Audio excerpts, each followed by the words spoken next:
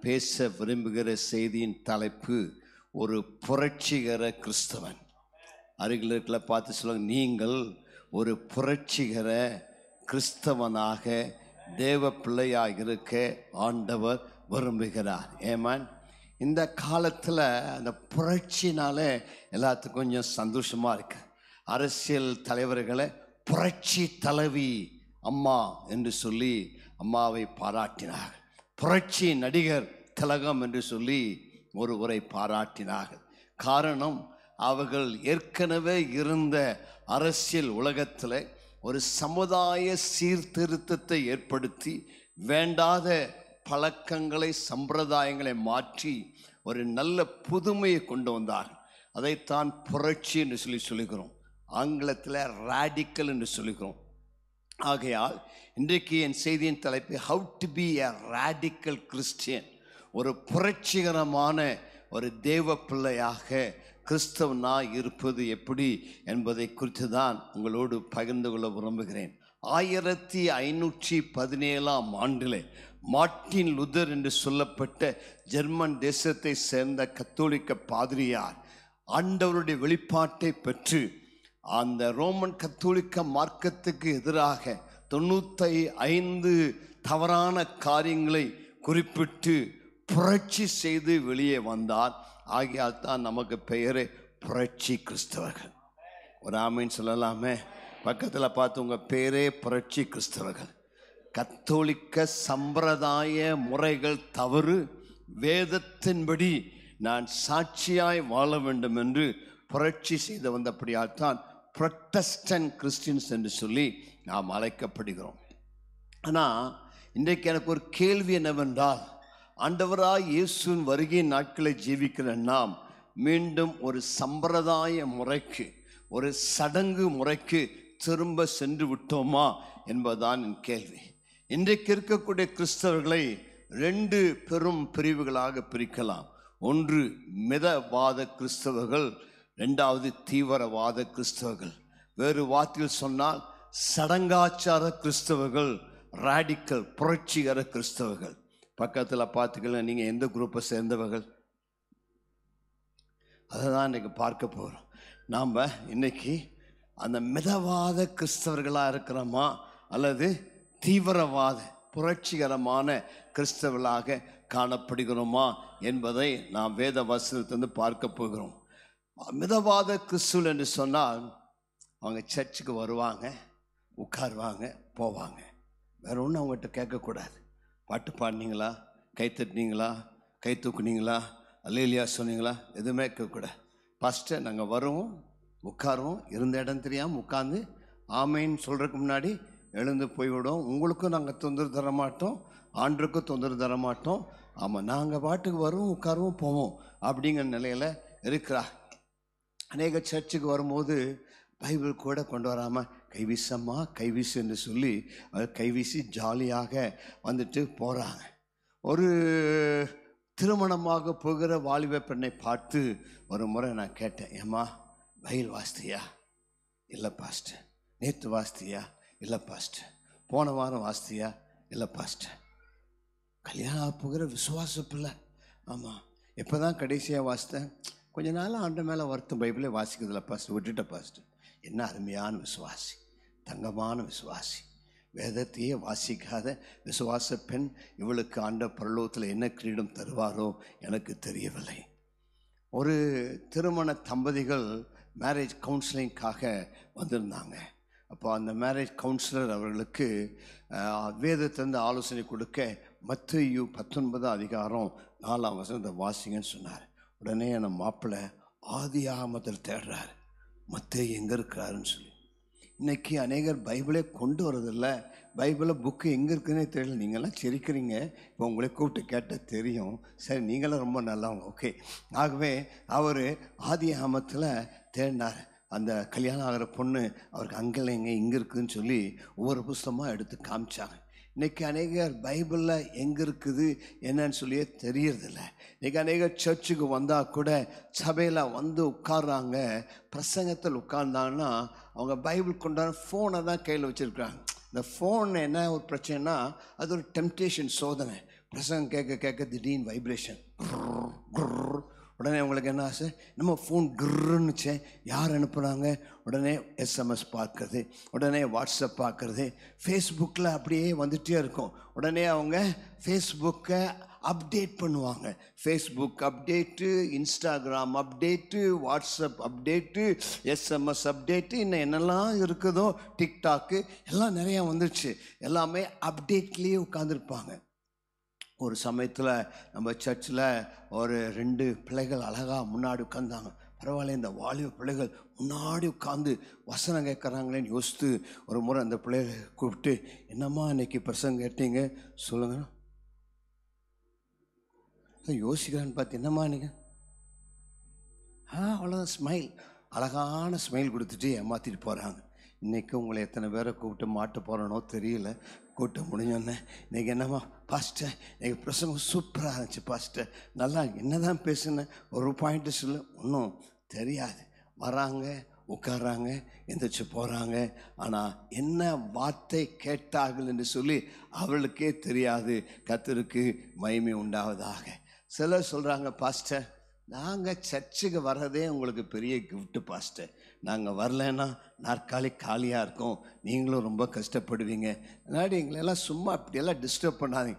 கையை தூக்கு ஒரு அலிலியா சொல்லு கையை தட்டு அம்மா இப்படி சொல்லு அப்படி சொல்லுலாம் சொல்லாதீங்க. நாங்கள் வரோம் அயன் கலையாமல் சட்டை அப்படியே உட்காந்து ஜென்டலாக உட்காந்து ஜென்டலாக போகிறோம் எங்களை டிஸ்டர்ப் பண்ண ஏதோ சர்ச்சுக்கு வந்தோம். ஒரு திருப்தி. அது பேர் தான் சடங்காச்சார கிறிஸ்துவ வாழ்க்கை. ஏதோ நான் சர்ச்சுக்கு வந்தேன். சர்ச்சுக்கு வந்து எனக்கு ஒரு திருப்தி எனக்கு இருக்கிறது. ஒரு மீட்டிங்கில் உட்கார்ந்தேன். அப்படிங்கிற ஒரு திருப்தி ஞாயிற்றுக்கிழமை ஆஜர் போட்டேன் ஆண்டவருக்கு என்பதற்காக அநேகர் வருகிறார்களே தவிர தேவனோடு உள்ள உறவிற்காக அநேகர் வருவது கிடையாது. பல வருடமாக சபைக்கு வரக்கூடிய பல விசுவாசுடைய வாழ்க்கையில் கூட கேட்கக்கூடிய அந்த வார்த்தை அவருடைய வாழ்க்கையை மாற்றாமல் இருப்பதை பார்க்கும் பொழுது நான் மிகுந்த ஆச்சரியப்படுகிறேன். காலாகாலமாக பிரசங்கத்தை கேட்குறாங்க. ஆனால் அந்த வார்த்தை அவருடைய வாழ்க்கையில் ஒரு மாற்றத்தை தருவதில்லை. இன்றைக்கு கிறிஸ்துவ மார்க்கம் உலகத்தோடு ஒத்துப்போகிற உலகத்தோடு ஓடிக்கொண்டிருக்கிற ஒரு வாழ்க்கையாக காணப்படுகிறது. இன்னைக்கு அநேக உலக மக்களுக்கும் தேவ பிள்ளைகளுக்கும் ஒரு பெரிய வித்தியாசத்தை பார்ப்பதில்லை. உலகத்தின் மக்களைப் போலவே விசுவாசிகளும் அவதமாகவே காணப்படுகிறார்கள். ஆகவே தான் இன்றைக்கு ஆண்டவர் என்னுடைய உள்ளத்தில் ஒரு புரட்சிகர கிறிஸ்தவனாக வாழ்வது எப்படி? How to live a radical Christian life how to have a radical Christian faith how to have a radical Christian commitment என்று சொல்லி பேச உள்ளத்தில் ஒரு வாஞ்சியை கொடுத்தார். மனுஷ ஆண்டவராக இயேசு இந்த உலகத்தில் வரும் பொழுது விசுவாசத்தை காண்பாரோ என்று கேட்டார். அவை ஆண்டவர் வரும் பொழுது நான் ஒரு நல்ல அர்ப்பணிக்கப்பட்ட ஒரு புரட்சிகர கிறிஸ்துவனாக இருக்க கத்தர் விரும்புகிறார். இன்றைக்கு உங்களோடு கூட ஒரு புரட்சிகர கிறிஸ்தவனாக இருப்பதனுடைய மூன்று முக்கிய காரியங்களை உங்களோடு பகிர்ந்து கொள்ளும்படியாய் விரும்புகிறேன் முதலாவது a radical Christian does not conform himself to the image of this world but is conforming himself for the transformation of his mind through the word of God அதாவது ஒரு புரட்சிகர கிறிஸ்தவன் உலகத்துக்கு ஏற்ற வேஷத்தோடு ஒத்துப்போகாதபடி வேத வசனத்தின்படி அவருடைய வாழ்க்கை மாற்றப்பட தன்னை ஒப்பு கொடுக்கிறான் மறுவப்படுத்த ஒப்பு கொடுக்கிறான் சர்ச்சுக்கு வரும் பொழுது இங்கெல்லாம் பைபிள் கொண்டு வர வேண்டும் ஒரு நோட் புக்கு கொண்டு வர வேண்டும் ஒரு பேனா கொண்டு வர வேண்டும் உட்காந்து எழுதி கொள்ள வேண்டும். எனக்கு பிரியமான ஒரு பிரசங்கியார் சொல்லுவார் நீங்கள் சர்ச்சுக்கு வந்து பிரசங்கம் பண்ணும்போது ஒரு நோட் எடுத்து ஏதாவது நீங்கள் கிறுக்கிட்டு இருந்தீங்கன்னா அட்லீஸ்ட் ஒரு பிரசங்கத்தை கவனிப்பான்னு பிரசங்கியாராக எனக்கு ஆறுதலாக இருக்கும். ஆமாம் நீங்கள் ஒரு பொம்மை கூட வரைஞ்சிட்டு இருக்கலாம். ஆனால் எனக்கு தெரியாது நீங்கள் என்ன எழுதுறீங்கன்னு சொல்லி அட்லீஸ்ட் ஒரு பிரசங்கத்தை கேட்குறேன் நாங்கள் ஆறுதலாவது அடைவோம். ஆனால் நீங்கள் ஒன்றுமே எழுதாமல் இருந்தால் உங்கள் மூலையிலையும் ஒன்றும் போகலைன்னு சொல்லி எங்களுக்கு ஏமாற்றமாக இருக்கும் நாங்கள் அதனாடி நீங்களும் எல்லாம் ஒரு பேப்பர் எடுத்து ஏதாவது கிரிக்கெட்டாவது இருப்பீங்கன்னு நான் நம்புகிறேன். சொல்லுகிற வார்த்தைகளை குறிப்புகளை எழுதி வீட்டில் சென்று கவனித்து வாசியுங்கள். நான் சொன்ன முதலாவது குறிப்பு என்ன குறிப்பு சொன்னேன்? ஒரு புரட்சிகர கிறிஸ்தவன் உலகத்திற்கு ஏற்ற வேஷம் தெரியாமல் தேவனுடைய வார்த்தையினால் நாளுக்கு நாள் மறுரூபப்படுத்தப்பட்ட வாழ்விற்கொப்பாக தன்னை மாற்றிக்கொள்கிறார். இதுதான் மிக முக்கியமான சத்தியம். இன்னையிலேருந்து சில காலத்தை மாற்றுகிறேன். இது வரைக்கும் உங்களுக்கு வசனத்தை ஸ்க்ரீனில் போட்டேன். நான் நீங்கள் யாருமே பைபிளே திறக்கல. பைபிளே படிக்கிறதில்ல. இன்னையிலேருந்து வசனத்தை ஸ்க்ரீனில் போட வேண்டாம்னு சொல்லிட்டேன். அதுக்கு பதிலாக நீங்கள் வேதத்தை திறந்து வசனத்தை நீங்கள் வாசிக்கும்படியாக நான் விரும்புகிறேன். நல்ல கைகளை தட்டி ஆண்டவருக்கு நன்றி செலுத்தலாமா? நிறைய பேர் பைபிளே சர்ச்சுக்கு கொண்டு வரதில்லை. இன்னைக்கு பைபிள் கொண்டு வந்தவங்க எல்லாம் பைபிளை தூக்கி ஒரு அலிலியா சொல்லுங்க பார்க்கலாம். வா எல்லாருடைய பைபிளையும் பார்க்குறது எனக்கு எவ்வளோ சந்தோஷம். இன்னைக்கு என்ன நாள் தெரியுங்களா? இந்திய கிறிஸ்தவர் தினமாக அறிவிக்கப்பட்டிருக்கிறது. நல்ல கைகளை தட்டி ஆண்டுக்கு நன்றி சொல்லலாமா? இந்திய கிறிஸ்டியன் டே.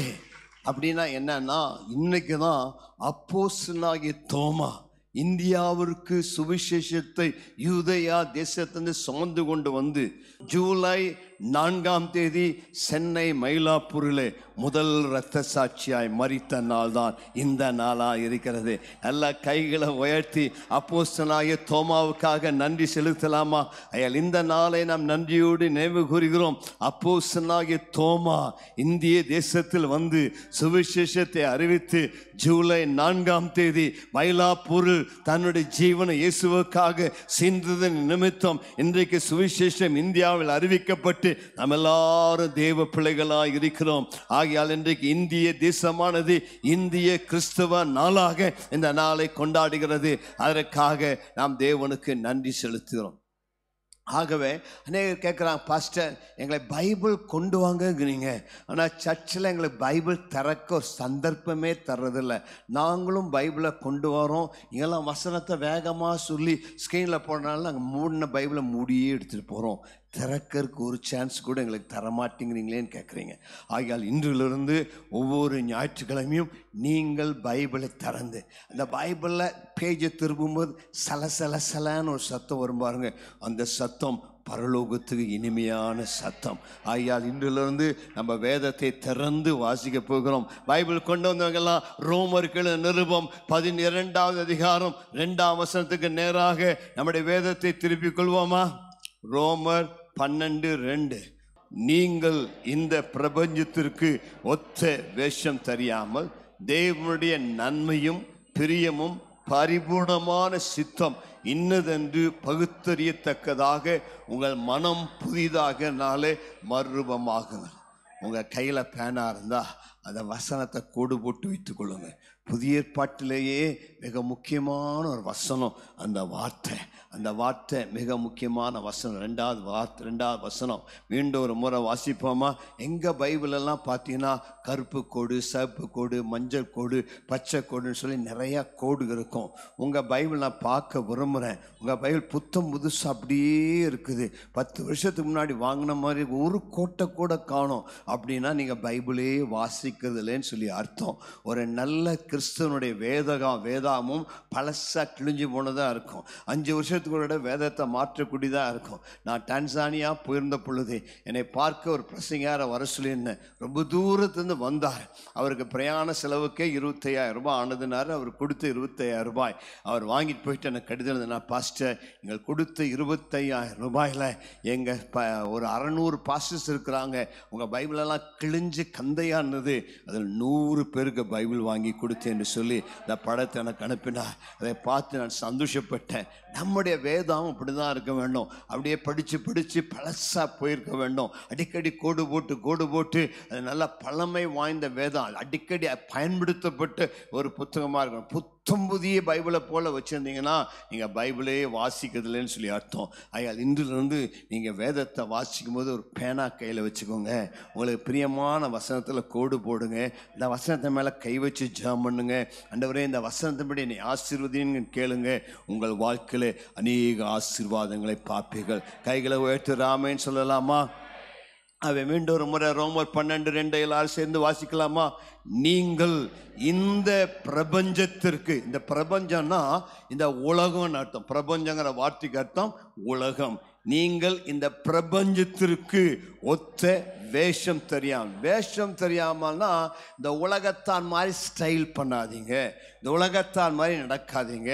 இந்த பிரபஞ்சத்திற்கு ஒத்த வேஷம் தெரியாமல் தேவனுடைய நன்மையும் பிரியமும் பரிபூர்ணமான சித்தம். தேவனுடைய சித்தத்தில் மூன்று இருக்கிறது என்னென்ன இருக்கிறது நன்மையான சித்தம் பிரியமான சித்தம் பரிபூர்ணமான பைபிள் படிக்கும்போது இப்படி தான் படிக்க வேண்டும். நிறையா கேள்வி கேட்க வேண்டும். ஒவ்வொரு வசனமாக எடுத்து வார்த்தையாக எடுத்து படிக்க வேண்டும். அப்போ தேவனுடைய சித்தம் மட்டும் இல்லை தேவனுடைய நன்மையான பரிபூர்ணமான அவருக்கு பிரியமான சித்தம் இன்னதென்று பகுத்து அறியத்தக்கதாக.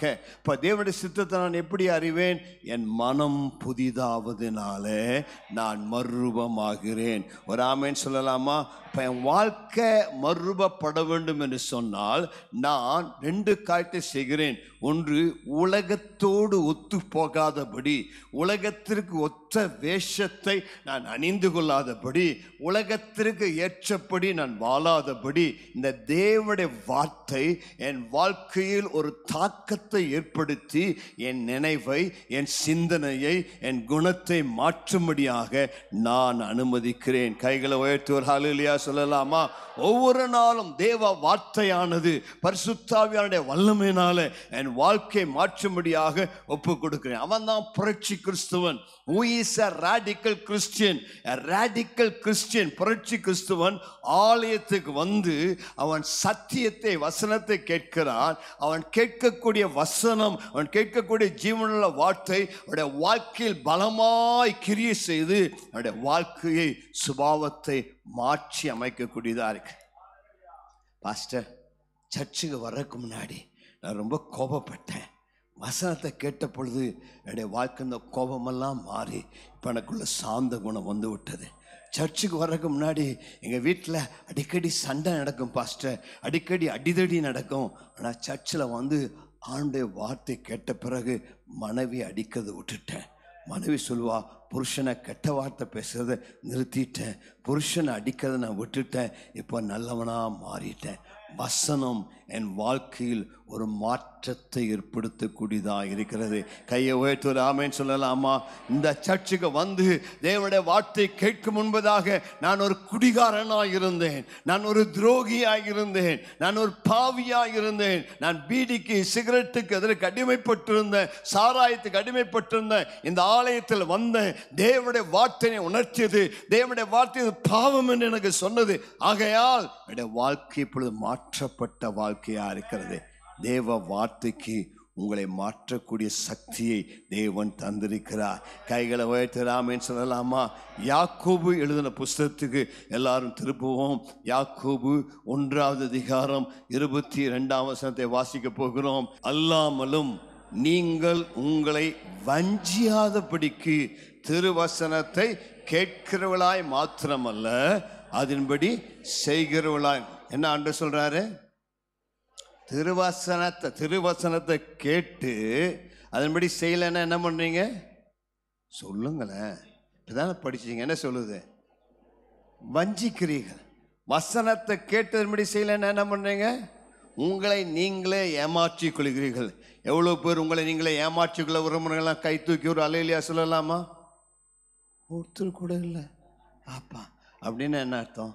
வசனத்தை கேட்டு அதன்படி நான் செய்யலைன்னா நான் என்னைத்தானே ஏமாற்றிக் கொள்கிறேன் என்று தேவன் சொல்லுகிறார் அடுத்த வசனம் வாசிக்கலாமா? ஓகே. எண்ணத்தினால் எனில் இருபத்தி மூணாம் ஒருவன் திருவசனத்தை கேட்டும் அதன்படி அதன்படி அதன்படி எதன்படி?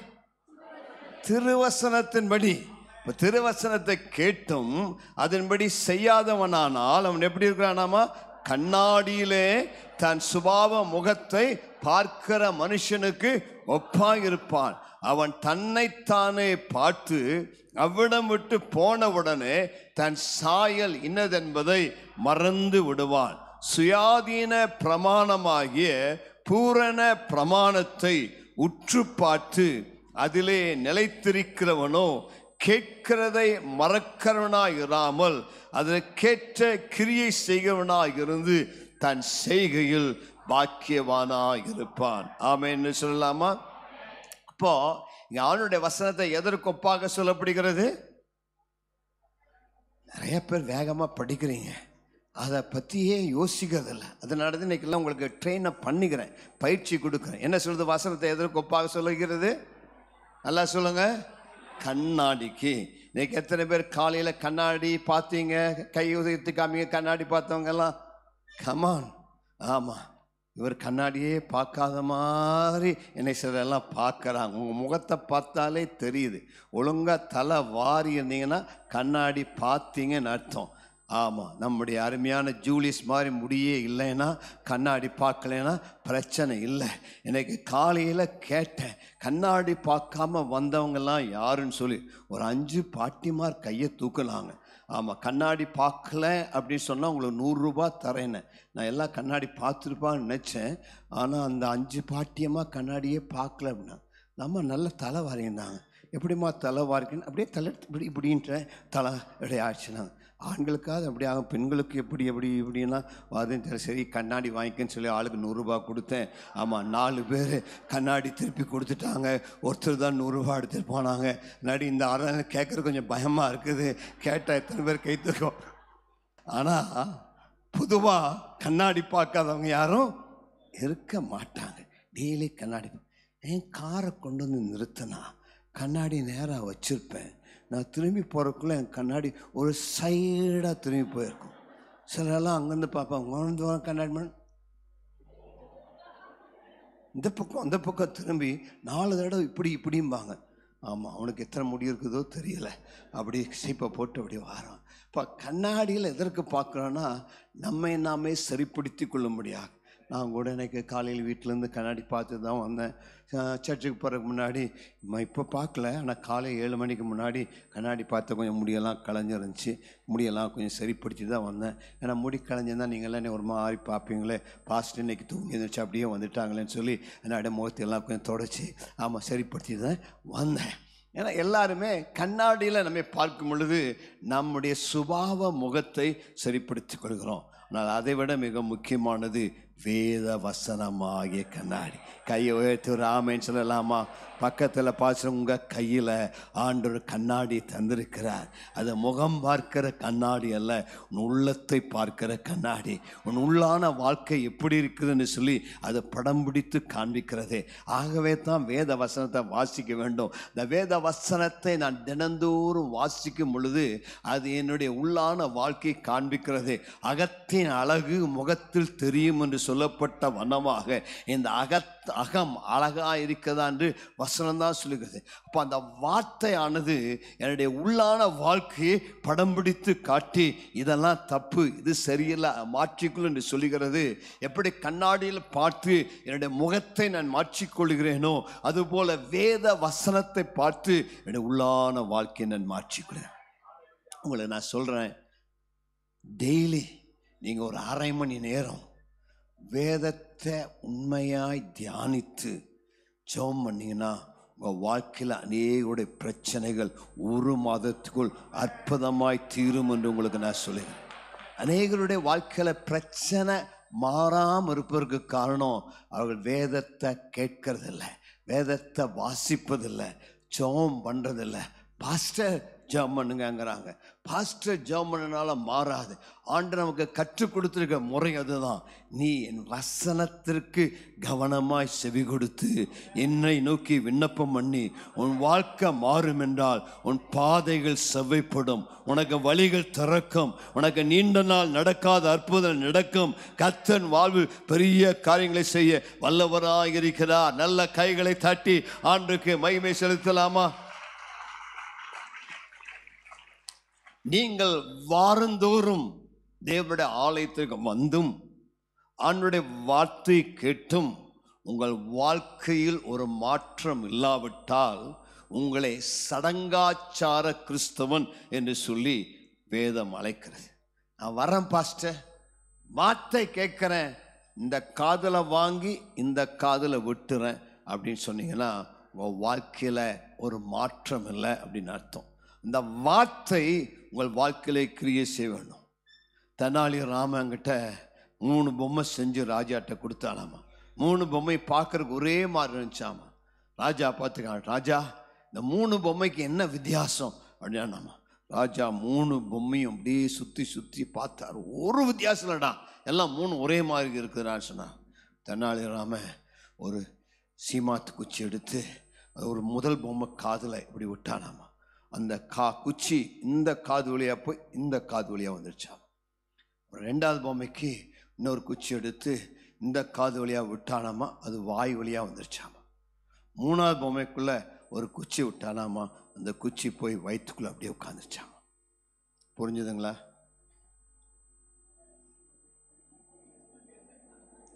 நீங்கள் இந்த மூணு பொம்மையில் ஒரு பொம்மை மாதிரி இருக்கிறீங்க சிலர் இந்த காதலை வாங்கி போறதுக்கு முன்னாடி இந்த காதலை போயிடுச்சு. என்ன பாஸ்ட்டு பேசினார்? நல்லா பேசினார். நல்லா பேசினார். அது போயிடுச்சு. பாதி போகிறதுக்கு முன்னாடியே போயிடுச்சு. சிலர் இந்த காதலை கேட்டு அடுத்த முறை வாயில் சொன்னோன்னே போயிடுச்சு. சிலருக்கு மட்டும்தான் கேட்கிற வார்த்தை உள்ளத்தில் தங்கி இருந்து வாழ்க்கையை மாற்றி அமைக்கக்கூடியதாக இருக்கிறது. கர்த்தருக்கு மகிமை உண்டா? இன்னைக்கு அநேக கிறிஸ்தவர்கள் பாரம்பரிய கிறிஸ்தவர்களாக இல்லாவிட்டால் பரம்பரை கிறிஸ்தவர்களாக இல்லாவிட்டால் பெயர் கிறிஸ்துவலாக இருக்கிறார்கள். அவர்களுக்கும் உலக மக்களுக்கும் எந்த வித்தியாசமும் கிடையாது. இன்னைக்கு அநேக கிறிஸ்துவ மக்கள் உலகத்தின் மக்களைப் போல ஒரு வித்தியாசம் இல்லாதபடி அவளைப் போலவே வாழ்கிறார்கள். அவளைப் போல நாலு நட்சத்திரம் சகுனம் வாஸ்து எல்லாத்தையும் பார்த்து தான் வாழ்க்கையை நடத்துகிறாங்க ஆமாம் அவன் தான் ஒரு பூனை குறுக்கா போனால் பயந்துட்டு போக மாட்டேங்கிறான். அது பாவம் பூனை இவ்வளோ நேரம் காத்துருந்துச்சு ரோட்டில் டிராஃபிக்காக இருந்தது டிராஃபிக் போனோன்னு ரோட்டை கடந்துச்சு. இவன் நம்ம பூனை குறுக்கா போனால் ஆ அபசகுணம்னு சொல்லிட்டு அதுக்கு பயந்து போகிறான் போகாமல் இருக்கிறான் இவன் ஒத்த காக்கா உட்காந்தான் அது பாவம் காக்கா துணை இல்லையேன்னு வந்து உட்காந்து காக்கான்னு கத்துது. இன்னொரு காக்கா வந்து உட்கார வரைக்கும் இப்படியெல்லாம் நம்ம நாட்டில் மூட பழக்க வழக்கங்களை சொல்லி சகுனத்தை சொல்லி நம்ம ஏமாற்றி கட்டி வைத்திருக்கிறான். இன்றைக்கு அநேக கிறிஸ்துவர்கள் கூட இதையெல்லாம் கேட்டு அதன்படி தங்கள் வாழ்க்கையை நடத்துகிறான் அவன் சிலருக்கெல்லாம் லாபம் உண்டாகிறதுக்காக பிராமணர்கள் அந்த ந- நமக்கெல்லாம் ராகு காலத்தில் கல்யாணத்தை நடத்திப்பான் ஏன்னா பொருள்லாம் சீப்பாக கிடைக்குமில்ல. அதனாடி அவன் நமக்கு ராகு காலம்னு சொல்லி அவனுக்கு அது நல்ல காலத்தில் அவன் வேலையெல்லாம் முடிச்சுப்பான். ஆனால் நமக்கு ஆமாம் நல்ல காலம்னு சொல்லி பொருள் விலையெல்லாம் ஏற்றி அவன் விற்கிறதுக்கு வியாபாரம் பண்ணுறதுக்கு பார்க்குறான். இதெல்லாம் நமக்கு தெரியாமல் முட்டாள்தனமாக ராகு காலம் நல்ல காலம் கெட்ட காலம் சகுனம் அப்படின்னு எல்லாம் பார்த்து இன்றைக்கி அநேகர் செய்யாமல் இருக்கிறாங்க. ஆகஸ்ட் பதினொன்றாம் தேதி எங்கிட்ட வந்து சில கல்யாணத்தை கேட்டேன். நான் பார்த்தா அன்னைக்கு ஆகஸ்ட் பதினொன்றாம் தேதி மூணு நாலஞ்சு கல்யாணம் நடக்குது. என்ன நல்ல நாளோ தெரியல. அப்படி நல்ல நாள் கல்யாணம் பார்த்து கல்யாணம் ஆனால் என்னதான் நடக்குதுன்னு எனக்கு தெரியல. நல்ல நாள் பார்த்து கல்யாணம் பண்ணுறவங்க குடும்பத்தில் எல்லாம் சந்தோஷமாக இருக்குதா? எங்களுக்கு எனக்கும் மனைவிக்கும் ராகு மார்கழி மாதம் தான் கல்யாணம் ஆச்சு. மார்கழியில் யாரும் கல்யாணம் பண்ண மாட்டாங்க. டிசம்பர் பாஞ்சாம் தேதிக்கு மேலே கல்யாணம் பண்ணோம் நாற்பத்தி ஒரு வருஷம். நாங்கள் நாளையும் பார்க்கல தேதியும் பார்க்கல. அந்த நாள் வசதியாக இருக்குன்னு சொன்னாங்க. அன்றைக்கி வசதியாக இருந்துச்சு கல்யாணம் பண்ணிட்டோம். இன்றைக்கி நாங்கள் நல்லா தான் இருக்கிறோம் சந்தோஷமாக தான் இருக்கிறோம். ஏங்க உங்களுக்கு குழந்தை பிறக்கும்போது நல்ல காலம் பார்த்தா குழந்தை பிறக்குது. ஆமாம் குழந்தை வயிற்று விட்டு வெளியே வர டைம் ஆனால் டப்புன்னு வந்துடுது ஐயோ இது ராகு காலத்தில் பிறந்துச்சு இந்த குழந்தை அபசகன்னு கொண்டா போட போகிறீங்க இல்லை அந்த குழந்தை கத்த தராரு நீங்கள் பெற்றுக்கொள்கிறீங்க ஆமாம் சாகும்போது நல்ல காலம் பார்த்தா சாகுறீங்க. இப்போ மணி பத்து முப்பது இந்த மணிக்கு சத்தால் தான் எமன் பரலோகத்துக்கு நான் போவேன். எமனை இப்போ வராத நல்ல காலம் பார்த்து வா நீங்கள் சொன்னீங்கன்னா அவன் காத்திருப்பானா? அவன் வருவான். அட செத்தா பரலோகம் போகணும். நல்ல நாள் பார்த்தா சாக போகிறோம் இவன் எந்த நேரம் பார்த்து செத்தான். அதனாட்டி தான் இப்படி ஆச்சுன்னா நான் சொல்ல போகிறோம் இல்லை இதெல்லாம் மனுஷனுடைய மூட நம்பிக்கை பழக்க வழக்கங்கள். ஆமாம் இதை பார்த்து அதை பார்த்து நம்ம கல்யாணத்தை நடத்தக்கூடாது. இன்னைக்கு அநேக கிறிஸ்தவர்கள் கூட இந்த நாளை பார்க்குறாங்க நட்சத்திரத்தை பார்க்குறாங்க சகுனத்தை பார்க்குறாங்க வாஸ்து பார்த்து வீடு கட்டுறாங்க.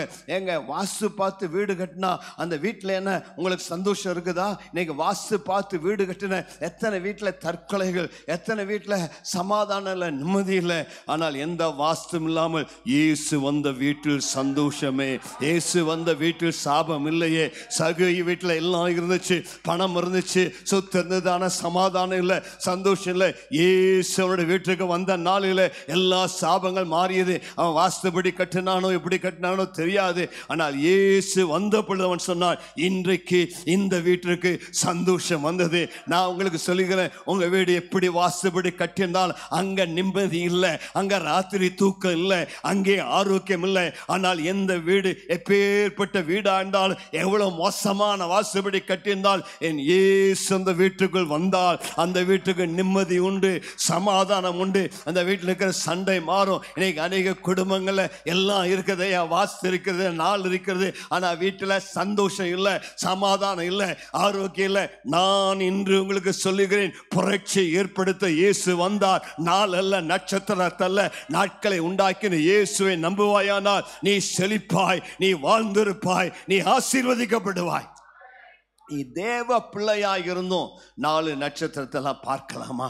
நீ ஒரு புரட்சிகர கிறிஸ்துவனா இருக்க வேண்டும். பக்கத்தில் பார்த்து சொல்லுங்க நீங்கள் ஒரு புரட்சிகர கிறிஸ்தவனாக இருக்க வேண்டும். நீங்கள் கல்யாணத்தை நடத்தினா நீங்கள் உங்கள் வீட்டில் ஒரு காட்டை செஞ்சால் நாளை பார்க்காதீங்க நட்சத்திரத்தை பார்க்காதீங்க. நல்ல வசதியாக இருக்குதா எல்லாரும் வர்றதுக்கு? அப்படின்னு பார்த்துவீங்க அது உங்களுக்கு ஆசீர்வாதமாக இருக்கும். இன்னும் சில கிறிஸ்துவ குடும்பங்களை கல்யாணம் நடத்தும் பொழுது அவங்க கல்யாணத்தில் வெத்தலை பாக்கு பீடா ஆமாம் புகையில் எல்லாம் வச்சுருக்கான் சந்தனம். என்னங்க? இதெல்லாம் வச்சுருக்கேன்னு கேட்டேன். வச்சுக்கப்படாதவங்களாம் வருவாங்க. அவங்களையெல்லாம் எப்படி சமாதாயப்படுத்திக்கணும் மண்ணாங்கட்டி. உன்னையெல்லாம் ஆ?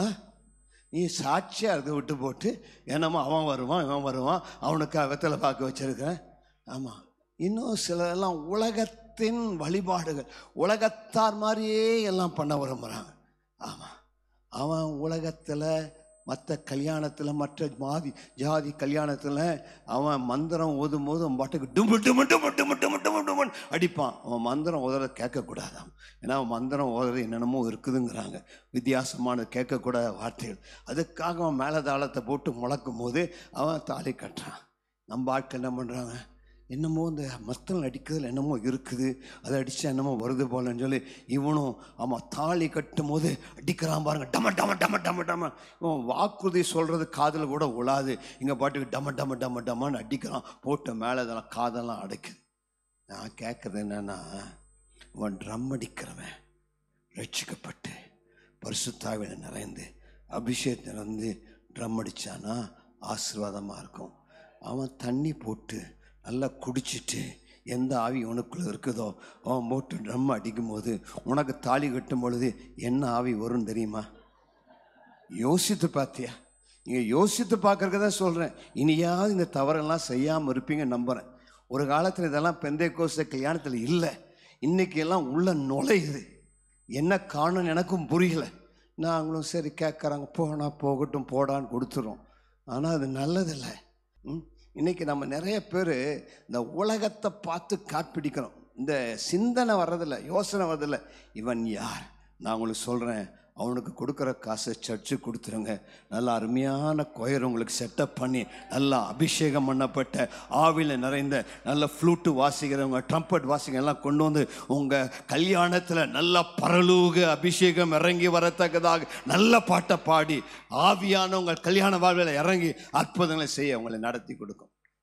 நம்ம இதெல்லாம் யோசிக்கணும். என்னுடைய கல்யாணம் ஒரு வித்தியாசமாக இருக்க வேண்டும். என்னுடைய கல்யாணத்தில் அந்த மாதிரி இதெல்லாம் இருக்கணும் அவசியம் இல்லை. ஒரு பைபிள் வாங்கி கொடுக்குறேன். ஒரு ஒரு கல்யாணத்தின் பிரசனத்தை கேட்டு ஒரு தம்பி அப்படி தான் தீர்மானம் பண்ணேன் கல்யாணத்தில் நான் எல்லாருக்கும் வேதத்தை புதிய பாட்டை கொடுக்குறேன்னு சொன்னேன். எனக்கு ரொம்ப சந்தோஷமாக இருந்தது.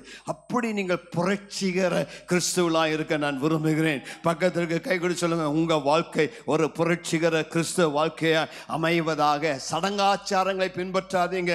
சம்பிரதாயங்களை பின்பற்றாதீங்க. இதுதான் எனக்கு நல்லதுன்னு நினைக்காதீங்க. ஏதோ ஒரு மேலதாளம் வாசிக்கிறேன் எல்லாம் இது பண்ணுறேன் அப்படி பண்ணாதான் நல்லதுன்னு நினைக்காதீங்க. என்னுடைய கல்யாணத்தில் ஆட்டுக்குட்டியானவராகி இயேசு வர வேண்டும். அவருடைய சிலுவின் ரத்தம் தெளிக்கப்பட வேண்டும். தேவன் பிரசன்னராக இருக்க வேண்டும். அவருடைய தூதர்கள் இறங்கி அசைவாட வேண்டும். என்னுடைய வாழ்க்கை இப்படிதான் ஆசீர்வாதமாக இருக்கணும் அதுதான் மிக முக்கியம். விசுவாசத்தில் ஆரம்பித்த நீ எவ்விதமாய் விசுவாசத்தை விட்டு விலகி போன் வாசிங்க கலாத்தியருக்கு எழுத நிறுவம் எடுத்துக்கொள்ளுங்க பைபிளில். கலாத்தியர் குருந்தியருக்கு பிறகு வரார் கலாத்தியர். கலாத்தியர் மூன்றாவது அதிகாரம் மூன்றாம் வசனத்தை வாசிக்கலாமா? புத்தி இல்லாத கலாத்தியரே. யாருங்க? இருக்குதுங்களா உங்களுக்கு? நான் சொல்லலை. பைபிள் ஆண்டு கேட்டார். என்ன கேட்டார் பவுலு? ஏன் கேட்டான் படிங்க பார்க்கலாம். நீங்கள் சத்தியத்திற்கு கீழ்ப்படியாமற் போகத்தக்கதாக உங்களை கலாத்திய சபை பெரிய சபை நல்ல சபை. அந்த சபையை பார்த்து பவுல் கேட்குற பிரசங்கமாக இப்படி தான் கேட்கணும். எப்படி கேட்கணும்? புத்தி இல்லாத முட்டாளே. இப்படி பிரசங்கம் பண்ணால் நீங்களாம் உட்காந்துருப்பீங்களா எனக்கு தெரியல. ஆனால் பைபிள் அப்படி தான் எழுதி வச்சுக்க. புத்தி இல்லாத கலாத்திரை ஏன் புத்தி இல்லை உங்களுக்கு? சத்தியத்திற்கு கீழ்ப்படியாமற் போகத்தக்கதாக உங்களை மயக்கனவன் யார்? யாரையும் அவங்கள மயக்கனா? ஆண்டுடைய வார்த்தையை கேட்காம நீங்கள் பாட்டுக்கு உங்கள் வாழ்க்கைப்படி நடக்கிறதுக்கு இயேசு கிறிஸ்து சிலுவில் அறையப்பட்டவராக உங்கள் கண்களுக்கு முன் பிரத்யட்சமாய் உங்களுக்குள்ளே வெளிப்படுத்தப்பட்டிருந்தாரு. மூன்றாவது வசனத்தை வாசிப்போம். ஆவியிலே ஆரம்பண்ண நீங்கள் இப்பொழுது மாம்சத்தினாலே முடிவு பெற போகிறீர்களோ? நீங்கள் என்ன கேள்வி கேட்குற பாருங்க. ஏன் ஆவியில் ஆரம்பிச்சு இப்போ மாம்சத்தில் முடிக்கலாமா? நீ இவ்வளோ முட்டாளா? அப்படின்னு பவுல் அவர்களை பார்த்து கேட்டார். உங்களை பார்த்து நான் கேட்கல. வசனங்களை பார்த்து கேட்டுக்கும் ஆகவே ஆவியில் ஆரம்பம் பண்ணுனா next level in spiritual life என்னுடைய வாழ்வில் அடுத்த ஆவிக்குரிய எல்லைக்கு செல்ல வேண்டுமே தவிர நான் பின்னுக்கு திரும்பி செல்லக்கூடாது. அதுதான் என்னுடைய வாழ்வில் மிக முக்கியம். ஆவியில் நான் வளர்ந்து அவருக்கு பிரியமாய் வாழ வேண்டும். எடுத்துக்கொள்ளுங்கள். பழைய ஏற்பாட்டில் லேவி ராகமும் பழைய ஏற்பாட்டில் நூற்றி நாற்பத்தி எட்டாவது பக்கம் நூற்றி நாற்பத்தி ஒன்பதாவது பக்கம் பழைய ஏற்பாட்டில். நூற்றி நாற்பத்தி ஒன்பதாவது பக்கத்தில் வாசிங்க. மூணாம் நாலாம் வசந்த வாசிங்க. நீங்கள் குடியிருந்த எகிப்து தேசத்தாருடைய செய்கையின்படி செய்யாம். நீ இப்படி மாற்றி வாசிக்க விரும்புகிறேன்.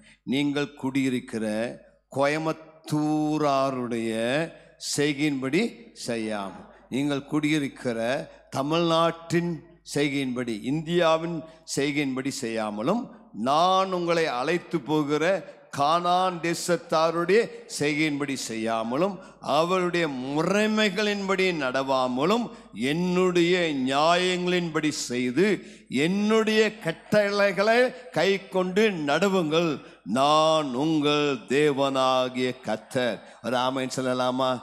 கையை உயர்த்தி சொல்லுங்க அவர் என்ன ஆண்டவரையா? அவர் என்ன சொன்னார் அப்படிதான் நடப்பேன். நான் விசேஷமானவன் நான் தனிப்பட்டவன். கையை அசைத்து சொல்லுங்க நான் வித்தியாசமானவன். நான் உலகத்தாரை போல அல்ல. உலகத்தாருடைய வழியிலே நடக்க உலகம் எனக்காக ரத்தம் சிந்தவில்லை. எனக்காக ரத்தம் சிந்தின என் ஆண்டவராய் இயேசு அவருடைய வழியிலே நடக்க அவருடைய வேதத்தை எனக்கு எழுதி கொடுத்திருக்கிறபடினால அவர் எனக்கு என்ன சொன்னாரோ அதன்படிதான் நான் நடப்பேன். ஹலோ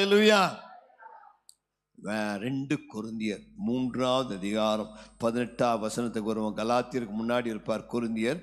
எடுத்துக்கோங்க ரெண்டு கொருந்தியர் மூன்றாவது அதிகாரம் பதினெட்டாவது வசனம். வாசிக்கலாங்களா? எடுத்துக்கொண்டால் இரநூத்தி நாற்பத்தி ஏழாவது பக்கம். ரெண்டு குருந்தியர் மூன்று பதினெட்டு. எல்லாரும் சேர்ந்து வாசிக்கலாமா?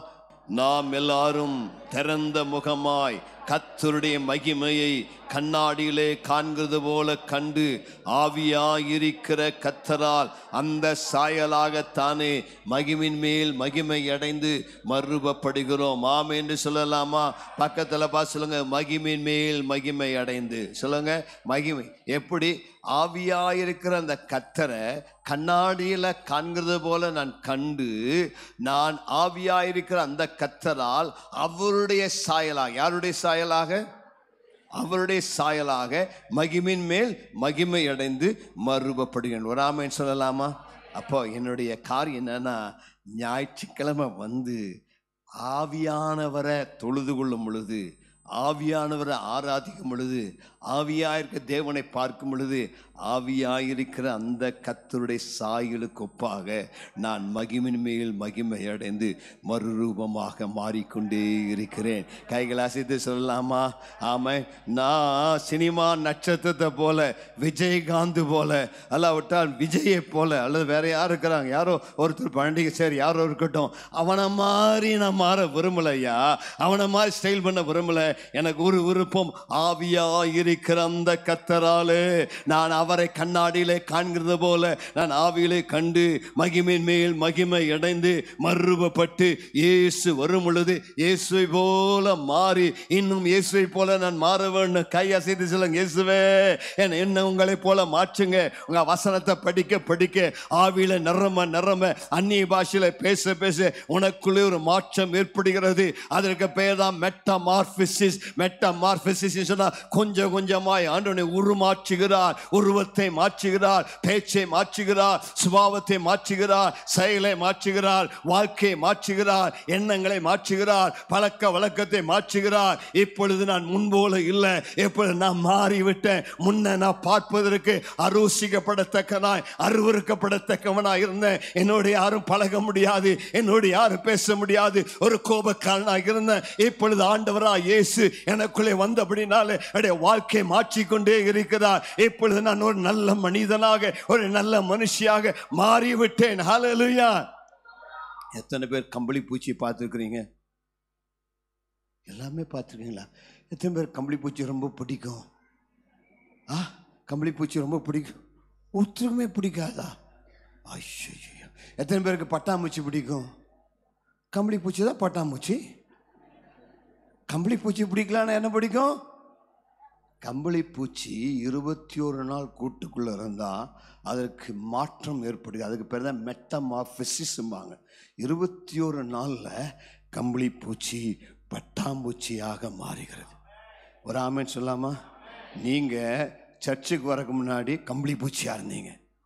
பக்கத்தில் பார்த்து சொல்லுங்க நீங்கள் ஒரு கம்பளி பூச்சியாக இருந்தீங்க. உங்களை தொட்டாலே அரிப்பீங்க. உங்களுக்கு பேர் சாண்ட் பேப்பர் உப்பு காகிதம். ஆமாம் உங்களை யாராவது தொட்டால் அப்படியே அரிக்கும். ஆமாம் அந்த மாதிரி உங்களுக்கு கோபம் உங்கள் வாழ்க்கை உங்கள் சுபாவம் எல்லாம் கம்பளி பூச்சி மாதிரி இருந்தது.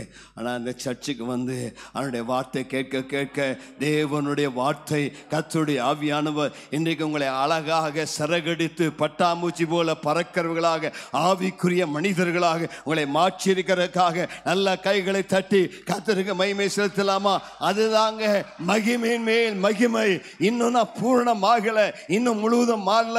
இன்னும் ஆண்டனை மாற்றிக்கொண்டே இருக்கிறார். என் பேச்ச மாத்துறா சுபாவத்தை மாத்துறா சிந்தனை மாற்றுகிறா காரணம் என்ன? ஞாயிற்றுக்கிழமை ஆலயத்தில் வந்து நான் கேட்கக்கூடிய வார்த்தை என்னுடைய பழக்க வழக்கத்தை மாற்றுகிறது என்னுடைய குணத்தை மாற்றுகிறது என்னுடைய நடைமுறையை மாற்றுகிறது என்னுடைய நம்பிக்கை மாற்றுகிறது என்னுடைய சிந்தனையை மாற்றுகிறது. இப்பொழுது என் மனம் புதிதாகி கொண்டே இருக்கிறது. இப்போ மைண்ட் பழைய மைண்ட் அல்ல. பழைய மனது போல பாவத்துக்கு இச்சைக்கு அடிமைப்பட்ட மனதல்ல. இப்பொழுது என் மனம் இயேசுக்கு நான் பிரியமா எப்படி வாழலாம் என்று சிந்திக்க ஆரம்பிக்கிறது. என் மைண்டு சேஞ்ச் பண்ணிடுச்சு இதுவரைக்கும் என் மைண்டு எனக்கு தோல்வியின் சிந்தையை தந்தது. இதுவரைக்கும் என் மனது எனக்கு அவிதமாக நான் தோற்று விட்டேன் நம்பிக்கை இல்லை. எனக்கு விடிய வெளிச்சம் இல்லை. எனக்கு வாழ்க்கையில் என்று சொன்னது. இப்பொழுது இயேசு ஏற்றுக்கொண்ட அப்படின்னாலே என் மனது சொல்லுகிறது எனக்கு ஒரு நம்பிக்கை உண்டு. எனக்கு ஒரு எதிர்காலம் உண்டு. எனக்கு ஒரு இயேசு உண்டு. எனக்கு ஒரு வெற்றி தருகிற தேவன் உண்டு. என் தோல்வியை ஜெயமாய் மாற்றுகிறவர். என்னுடைய பாடுகளை பிரச்சனைகளை மாற்றுகிற. ஏசு எனக்கு இருக்கிறார் என்று அந்த நம்பிக்கை எனக்கு சொல்லுகிறது. ஏசு எனக்கு இல்லாவிட்டால் அவருடைய வார்த்தை எனக்கு இல்லாவிட்டால் என் வாழ்க்கை இருண்டு இருக்கும் நம்பிக்கை இருக்கும் என் சொந்த முயற்சியில மேல வர முடியல. ஆனால் தேவனை நம்புகிறபடினாலே இயேசுவை நம்புகிறபடினாலே எவ்வளவு குழியில் இருந்தாலும் அவர் என்னை தூக்கி எடுத்து கண்மலையின் மேலே நிறுத்தி எதிர்காலம் இல்லாத நம்பிக்கையற்ற இருள் சூழ்ந்த வாழ்வில் இருக்கிற எனக்கு ஒரு எதிர்காலத்தை ஒளிமயமான வாழ்க்கை நம்பிக்கையான வாழ்க்கையை தருகிறபடினாலே என் மனது மாறுகிறது. என் மனது வேத வசனத்தை வாசிக்க வாசிக்க என் மனது எனக்கு ஒரு நம்பிக்கையை ஒரு எதிர்காலத்தை தருகிறது. அதுக்கு தாங்க பைபிளை படிக்கும்னு சொல்றேன். நான் உங்களுக்கு சொல்லுகிற இயேசுவின் சிலுவையின் உபதேசத்தின் வல்லமை என்னை பாவ சாயிலிருந்து மாம்சத்தின் சிறையிருப்பிலிருந்து உலகத்தின் வழிபாடுகள் என்னை விடுதலையாக்கி இயேசுவின் உன்னத சாயலுக்கு ஒப்பாக அவருடைய சிலுவை என்னை மாற்றுகிறது. எதற்காக நான் கத்துடைய பந்தியில் பங்கெடுக்கிறேன்? இந்த அப்பத்தில் பாத்திரத்தில் நான் பங்கெடுக்கும் பொழுது எனக்குள் ஒரு மாற்றம் ஏற்படுகிறது. இயேசுவின் ரத்தத்தின் வல்லமை என்னுடைய வாழ்க்கையில் இருக்கிற பாவத்தின் வல்லமை முறிக்கிறது சாபங்களை முறிக்கிறது உலகத்தின் வழிபாடுகளை முறிக்கிறது. மாற்றுகிறது. உலகத்தின் ஆதிக்கத்திலிருந்து உலகத்தின் அதிகாரத்திலிருந்து என்னை மாற்றுகிறது. உலகம் என்னை அதனுடைய அச்சுக்குள் என்னை தக்க வைத்துக் கொள்ள விரும்புகிறது. உலகத்துக்கு ஒரு மோல்டு இருக்கிறது. உலகத்துக்கு ஒரு அச்சு இருக்கிறது. உலகத்தில் இருக்கிற அந்த உலகத்தின் அச்சுக்குட்பட்டு இருப்பார்கள் ஆனால் இயேசுவை ஏற்றுக்கொண்டவர்களுடைய வாழ்வில் அந்த உலகத்தின் அச்சு முறிக்கப்பட்டு இயேசு அச்சு அவருடைய திவ்ய சுபாவம் எனக்குள் வந்து அவருடைய திவ்ய நம்பிக்கை எனக்குள் உருவாகிறது. கைகளை உயர்த்துற அலுவலியா சொல்லலாமா? இப்பொழுது உலகத்தின் வழிபாடுகளுக்கு உலகத்தின் பழக்க வழக்கங்களுக்கு நான் மறித்து விட்டேன். உலகத்திற்கும் அதன் இச்சைகளுக்கும் அதன் பழக்க வழக்கங்களுக்கும் என் மேல் அதிகாரம் இல்லை. இப்பொழுது இயேசு எனக்குள் வாழ்கிறார். கையை உயர்த்தி சொல்லலாமா? இப்பொழுது நான் ஒரு புரட்சிகர கிறிஸ்தவன். இப்போ என் வாழ்க்கை என்னுடைய அந்த உலகத்தின் நம்பிக்கையின்படி அல்ல. என்னுடைய வாழ்க்கை வேத வசனத்தை சார்ந்ததாக இயேசுவை சார்ந்ததாக இருக்கிறது. பாருங்க தானிய அவன் பாபுலோனிலே வாழ்ந்தான். பாபுலோன் சிறையிருப்பின் காலத்தில் வாழ்ந்த பொழுது பாபுலோனுடைய பழக்க வழக்கங்கள் அவைகள் மிக மோசமானதாக இருந்தது. டேனியல் யூனிவர்சிட்டியில் படித்தான் ஐஏஎஸ் அந்த பேபிலோன் ராயல் சர்வீஸில் அவன் சேர்ந்தான். கவர்னர் ஆவதற்காக பயிற்சி பெற்றான். அவனுக்கு எல்லாமே ஃப்ரீங்க. Drinks free. First class drinks free பெண்கள் ஃப்ரீ எல்லாம் ஃப்ரீ ஆனால் தானியல் சொன்னா ஒன்று நான் இவைகளெல்லாம் என்னை தீட்டுப்படுத்த மாட்டேன். என்னை அழைத்த என்னை தெரிந்து கொண்ட தேவனுக்காக நான் பரிசுத்தமாய் வாழ்வேன் என்று சொல்லி தன்னை அர்ப்பணித்தபடியால் தான் தேவன் அவனை தேசங்களுக்கு மேலே ஒரு ராஜாவாக உயர்த்தினான் கத்தருக்கு மகிமை உண்டாவதாக. இன்றைக்கு உனக்கு எல்லாம் இருக்கலாம்.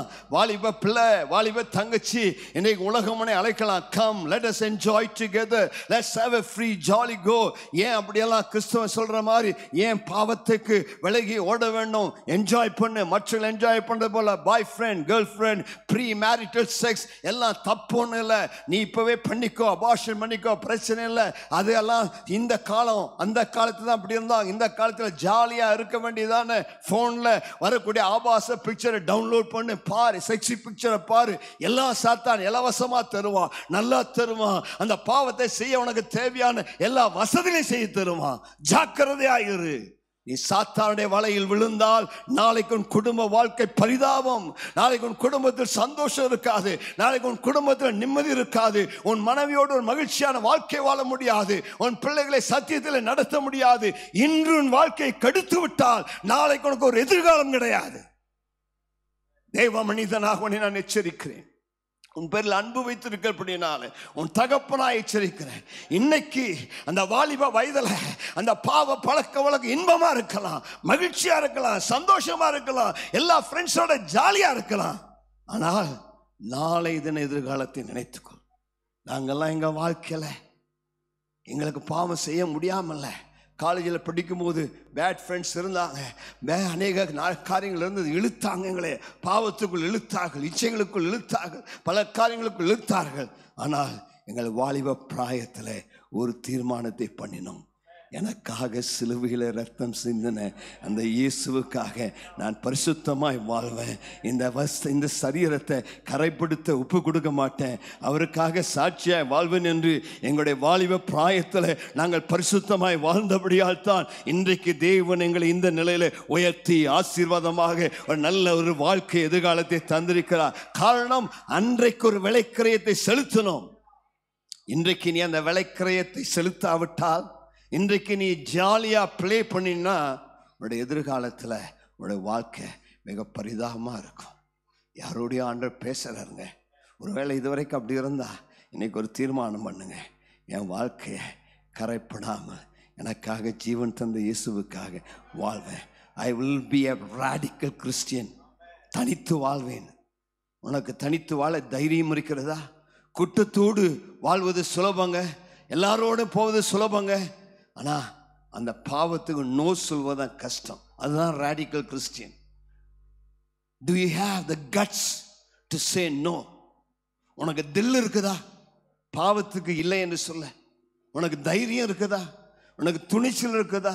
பேட் ஃப்ரெண்ட்ஸுக்கு நோன்னு சொல்ல. ஒரு பையன் உனக்கு கூப்பிடுறான் வா பின்னாடி வா அப்படி போகலாம் ஜாலியாக இருக்கலாம். உனக்கு நோ சொல்ல தில் இருக்குதா? இயேசுவின் வல்லமையால் நிரப்பப்பட்டிருந்தால் தைரியமாய் சொல்வாய் நான் இயேசுவின் பிள்ளை. நான் என்னை தீட்டுப்படுத்தி ஒப்பு கொடுக்க மாட்டேன். என்னுடைய அந்த நல்ல நாள் வரைக்கும் நான் காத்திருக்க ஆயத்தம். நீ என்னை விரும்பாவிட்டால் போனால் போகட்டும் போடா. அப்படி சொல்ல உனக்கு தைரியம் இருக்கிறதா? உனக்கு அப்படி தைரியம் இருந்தா உன் எதிர்காலம் பிரகாசமாக இருக்கும் போடி நாயே நீ வேண்டாம். என் வாழ்க்கையை நீ கெடுத்த வருகிறாய். பிசாசே நான் இயேசுவுக்காக வாழ்வேன். என்னை கரைபிடித்து ஒப்பு கொடுக்க மாட்டேன். என்னை தீட்டுப்படுத்த ஒப்பு கொடுக்க மாட்டேன்.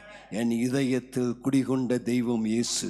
அவருக்காக நான் வாழ்வேன் என்று சொன்னால் உன் வாழ்க்கை வித்தியாசமாக இருக்கும். அந்த ஒரு ரேடிக்கல் கிறிஸ்டியன் தாங்க ஆண்டு எதிர்பார்க்கிறார். அவன் தான் ஒரு புரட்சிகரமான கிறிஸ்துவன்.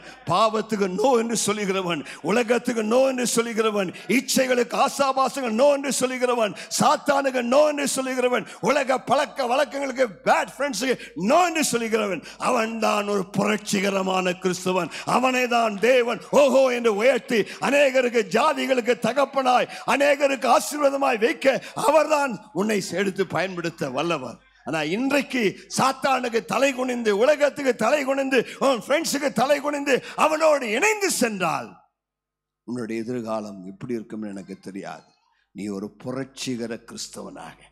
இயேசுவின் வசனத்திற்கு ஒப்பாக நான் கேட்கக்கூடிய வார்த்தை நான் அந்த வார்த்தையை படிக்க வேண்டும். இந்த வார்த்தையினை மாற்ற வேண்டும். இந்த வார்த்தையினை வாழ வைக்க வேண்டும். இந்த வார்த்தையினை ஆசீர்வதிக்க வேண்டும். இந்த வார்த்தைக்கு நீ ஒப்பு கொடுத்துட்டையா இந்த வார்த்தையில் ஜீவன் உண்டு. இந்த வார்த்தையில் வல்லமை உண்டு. இந்த வார்த்தையில் அதிகாரம் உண்டு. இந்த வார்த்தையில் தேவனுடைய ஜீவன் இருக்கிறபடினால இந்த வார்த்தை என்னுடைய வாழ்க்கையை மாற்ற இடம் கொடுத்தபடினால என்னுடைய வாழ்க்கை ஆசீர்வாதமாயிருக்கும்